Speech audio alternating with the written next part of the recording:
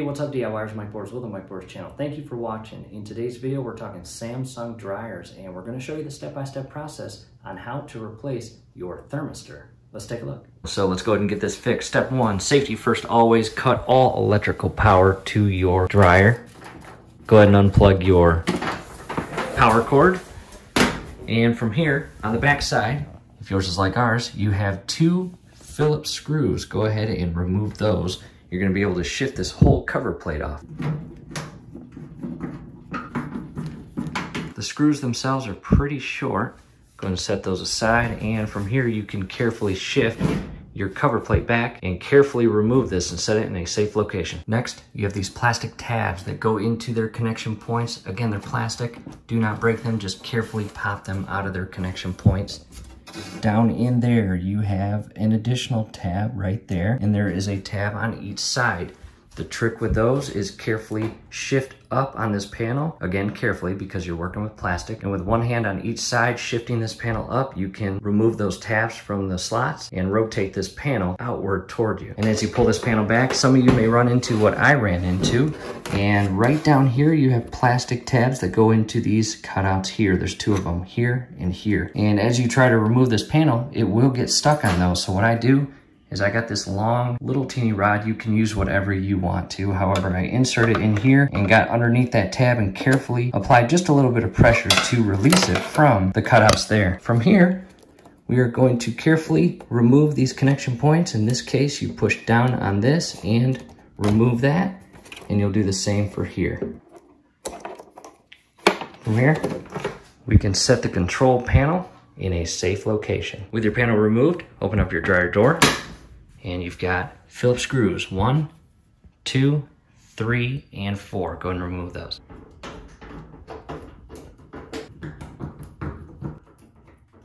From here, go ahead and close your door and four additional Phillips screws on the top. Go ahead and remove all four screws. After removing those four screws, you have pressure tabs here that hold your panel in place. Just go ahead and compress those and it will release this and you'll have one on each side.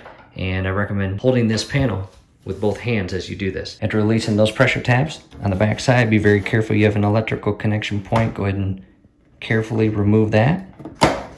And from here, you can pull up on the panel and remove it. And down at the bottom, you do have little slots that it goes into and again, just carefully set it aside. All right, real quick, the bottom right hand corner of your dryer after removing that panel, you can see your coil pack, your igniter, etc. Your actual thermostat is behind this fan ducting here. And in the event that you can reach into this portion here and gain access to the electrical connection point as well as the Phillips screw that secures the thermistor to this ducting, your project may be a little easier than others. However, in the event that you cannot gain access to that thermistor, we are going to continue taking everything everything apart to show you what exactly it looks like and where exactly it's located. Come down below, you've got three screws. Again, Phillip, and we want to remove this part.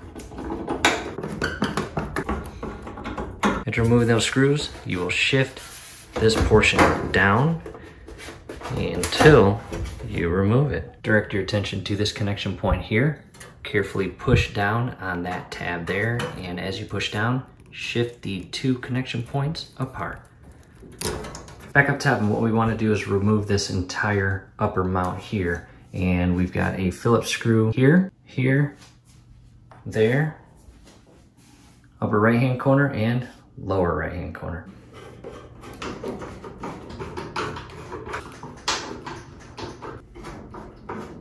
Pull your panel up and out. Be very careful on the back side. You have wiring in these little tie straps and these are very user friendly. All you have to do is undo these little plastic tabs there and pull the wiring out. I set the panel aside and you still have an additional wiring connection here. You can loosen that up and you just want to get this untangled and out of the way. Just shift it up here where it's not going to get harmed at all throughout the remaining portion of the project. Next, coming down below, YouTubers, this is probably the most tricky portion and you have your idler pulley way back there. As you can see that white circle or roller and you've got your belt and you've got to reach in there and you'll notice a spring right there. You will push that pulley away from you, which will ultimately put more tension on the spring and you can carefully remove the belt from the idler pulley. And I recommend prior to doing that, take as many photos as you can so you know exactly how the belt will go back on. There is a motor down below that it loops around as well as that upper idler pulley.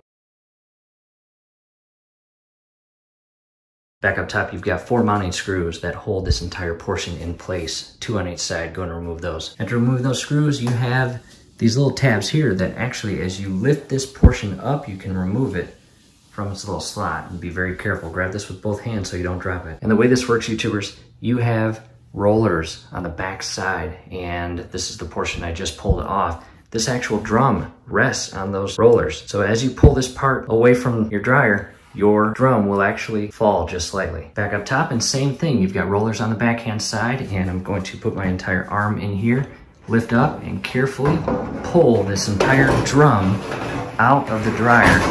And be very careful, don't allow that belt to catch on anything. At this point, DIYers, check that out. We have unlimited access to basically every part inside your dryer. Come to the back side of your blower housing. Here's your blower motor.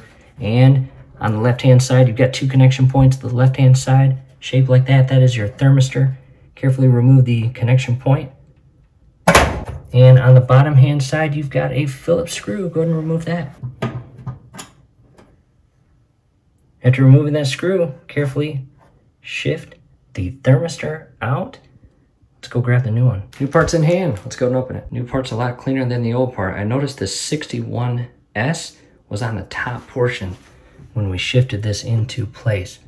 Shift it right in that little slot and secure the thermistor with that Phillips screw. From here, re-secure the electrical connection and Verify everything is secured and we'll reverse the steps. Let's go grab the drum. With the belt on, we'll lift this drum up, reinsert it, and rest it on those rollers. Drum is now back in place and I just want to show you what the belt is supposed to look like. With the idler pulley, you can't see the lower pulley that's on the motor, however it loops around that and that's what it's supposed to look like. Hopefully this may be a better view of it. However, again, just make sure you take pictures and know exactly how this belt goes back on. After securing the belt, come up top and give it one full rotation or revolution. Make sure that belt is in this groove here. After that, grab your panel and we will insert those rollers on the bottom portion. And as we do this, we will carefully lift up on the drum to properly set those rollers in place. And again, as you do this, just carefully lift up on the drum to allow those rollers to get underneath it and realign your tabs that are on your mounting bracket and they go into the respective slot. And from here, grab all four screws and secure them. After securing those four screws, direct your attention to your wiring and re-secure them in those little twist straps there. And remember what this goes to. This goes to your actual front panel. So this will actually droop through this little indent here and hang that carefully there. And these will feed through the upper mount. Mount is re-secured. Five screws. One, two, three, four, and five.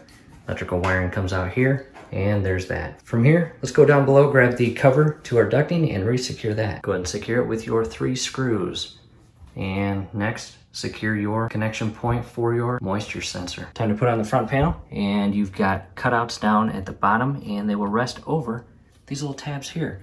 And as you shift this in place, connect your electrical connection. Carefully shift this in place and push the connection in until you hear the clicking sound. Realign the top portion until it goes into the pressure tabs.